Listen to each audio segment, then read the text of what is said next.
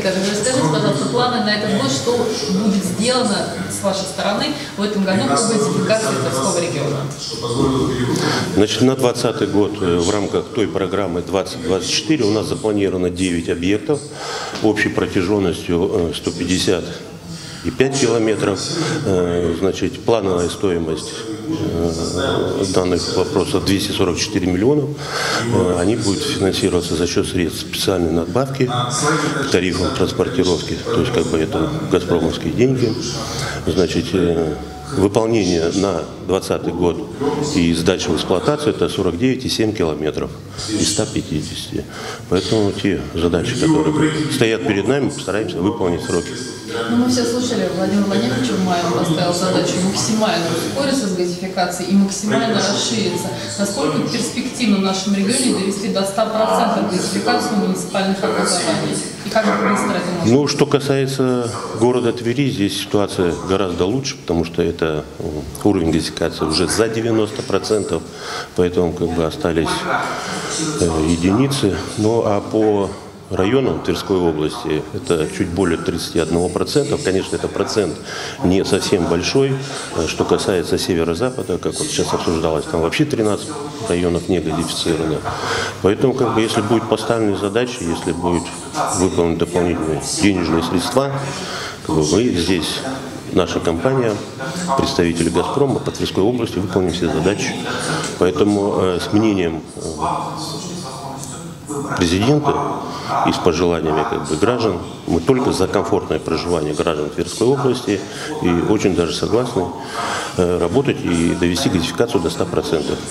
А если вернуться к объектам этого года, какой объект вы посчитали самым сложным в исполнении на сегодняшний день? Так, ну у нас там есть сложности по Бежецкому району. Но вот я озвучил на совещании. У нас основная проблема – это взаимодействие с собственниками. Потому что собственник считает, что он может заключить договор аренды очень с большой суммой, то есть доходит до 300 тысяч за одну сотку. И вторая проблема, опять же, с собственниками земельных участков, они э, желают заключить договор аренды не только на период строительства, а на весь период эксплуатации. Это и 50 и 70 лет.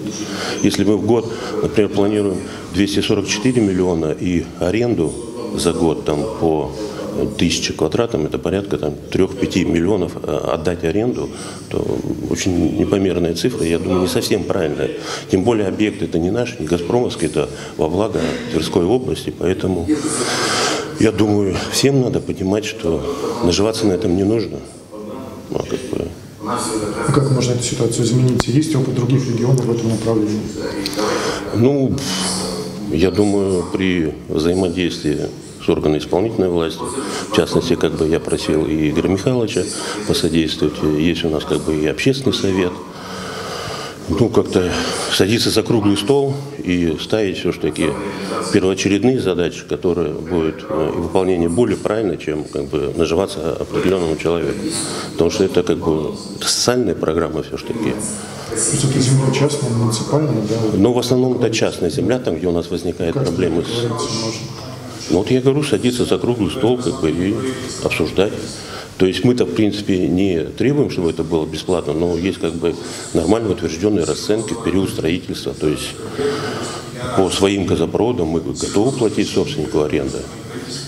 Поэтому Ну, речь договориться всегда можно. о физлицах или больше юрлиц? Но больше о физлиц.